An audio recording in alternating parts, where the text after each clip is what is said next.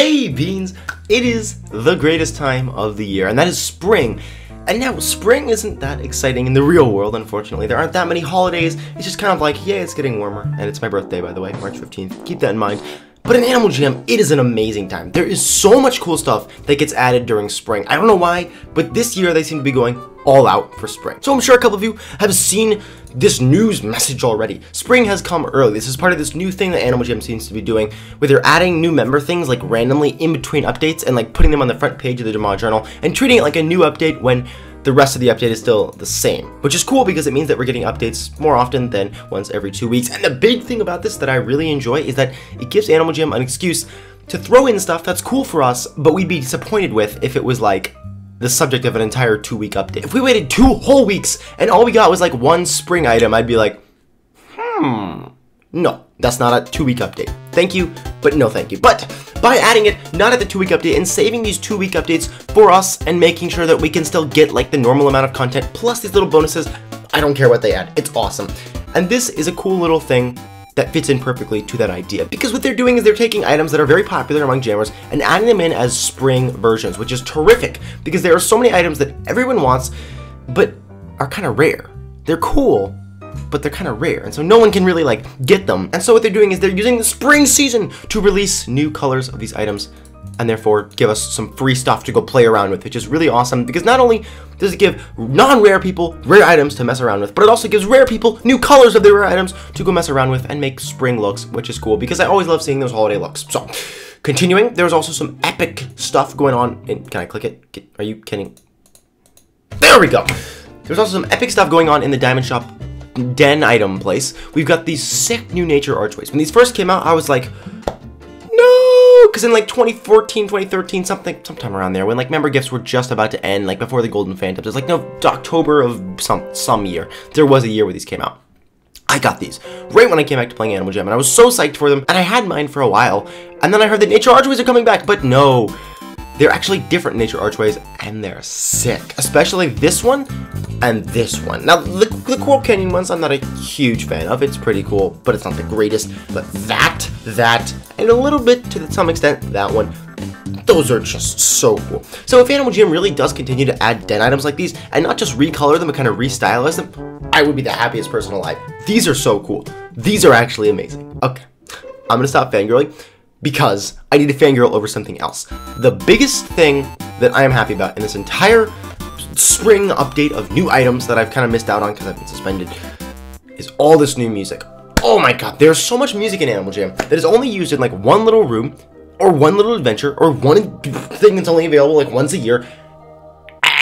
Um, and then we like can't use it at any other time. And it, it pains me. It pains me. I want to use this cool music. I really do. I go on an adventure, I'm like, bam! That is so ears. Oh my god. Whoa, whoa, this is such a good adventure music. I'm so hyped. I'm so ready for the spring. I'm so ready for Christmas. I love this music. Like, I, am getting shivers. Why can't I use this music? Because Animal Jam chooses to release them slowly, even though putting them in the Diamond Shop is a way to make money.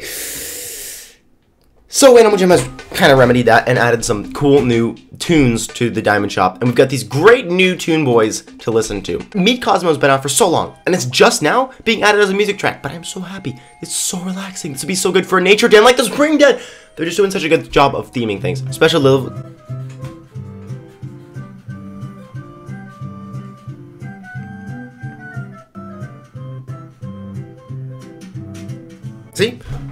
It's just so happy. You just need stuff like that. And then we've got this not racist at all New Year's Fortune one.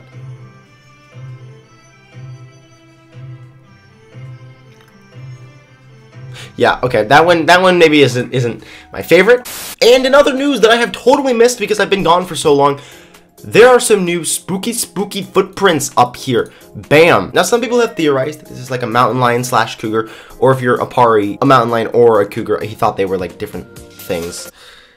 But it does seem to be some sort of mountain-dwelling animal with like these big claws and the, the, the boys, you know what I'm talking about? And then we've also got some little hints in CRPF 4. Oh, I almost went down the slide, but I didn't. We've got some little hints in CRPF 4. We've got these scratch marks here that aren't old, okay? When I first saw these, I was like, mm, that's not new. These are these. But these are actually woodpecker...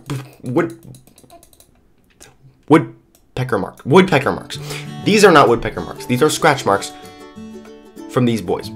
So let's theorize. What in the world could this be? The answer is warrior cats. Warrior role player cats. That's what they're adding. Is warrior role player cats who just walk all over the place and scratch things. Seems right. No. Okay. Basically what we know is it's going to be some sort of new cat. Let's talk about what cats do we have in Animal Jam right now. Well, first of all, we have the mountain cats. We have the lynx. That's it. So obviously it can't be the lynx. What animal goes in the forest and the mountain? Well, that's gonna just, it's a mountain lion. It's, it's a mountain lion, okay? It's gonna be a mountain lion. I almost guarantee it. I don't want to guarantee it but it seems very likely that it's a mountain lion. That's all I'm saying. Now, here's why I'm so psyched for mountain lion. Lynxes were great. Lynxes were little cute boys with their giant bobblehead, bobbly heads, and I was like, all right, that's fine. Like, I was really upset with them at the time, but as they grew and became more of a part of the game, and people started using them for cute looks, and they were actually played, I came to accept them. Like, when they first came out, one of my most popular videos is me saying, Lynxes are awful. These things are so ugly. They're a waste of Animal Jam's time. No Animal Jam has to animate all these items for them, they're just going to take up so much development time. No one's going to play them, but then people ended up playing lynxes. There are some animals that I'm still very salty about, like the polar bear, which just no one plays. Like, I saw a polar bear earlier today, and I was like, what? Oh, polar bears, right. People do that. I'd never seen their dance emotes when they did. Anyway, getting off topic.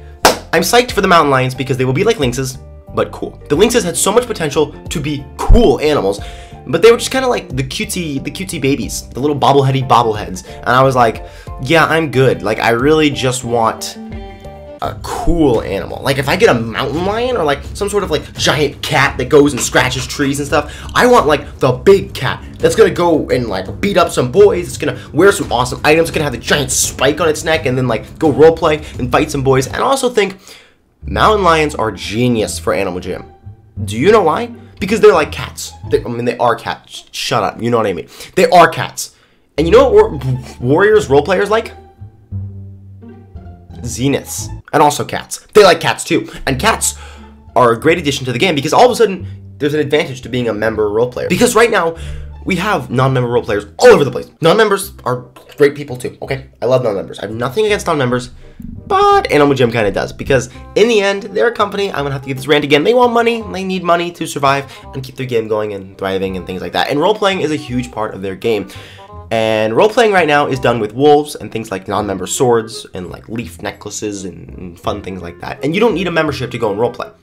Animal Jam does not like that. They want to make sure that if you are role playing, then there is some sort of way that you can have membership to become like an alpha cat or something. And if there were mountain lions, then yeah. The reason that lynxes never became the alpha cats is because, well, lynxes are cute and, and lame. Like lynxes, lynxes, you you put on funny looks with them because they have giant heads. Like you don't actually go put a, cool look on a lynx. You know what I mean? Like you can do it. You can probably pull it off, but you're not gonna really be able to do it, and people won't take you seriously if you do. And it'll be a lot harder than with a really cool animal. That's why things like Arctic wolves took off. They're like dogs, but they're wolves and they're sick and they're giant. And if they became out with like wolves, but bigger wolves that are actually cats, well, those would take off in role playing, and all of a sudden Eh, yeah, I might kind of suck for non-members because if you were a wolf, they wouldn't take you seriously.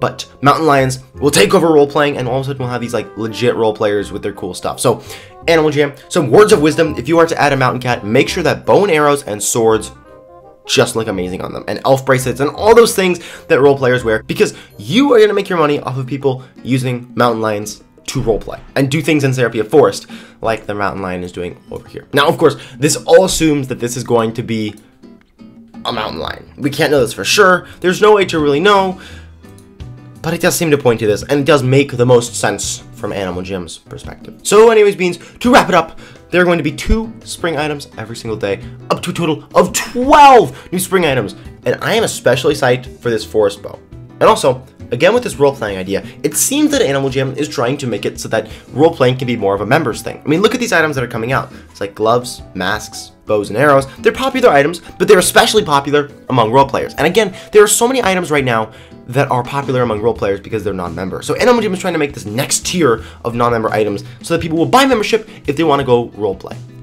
So there you go. So anyways, Beans, thank you so much for watching. I can't wait to see some of these spring items, as long as there is no spring spiked collar. If there is a spring spiked collar, I'm, I, I quit. Okay, it's like you beat the dead horse, and, and then it died again, and then you continued to beat it. It's just, there are so many spiked collars in the game right now. Long, short, wrist, like magenta, gold, blackout, the new spikes from the diamond shop, the short spikes from the diamond shop, studded collar. So anyways, Beans, thank you so much for watching, and I'll see you in my next video. Bye.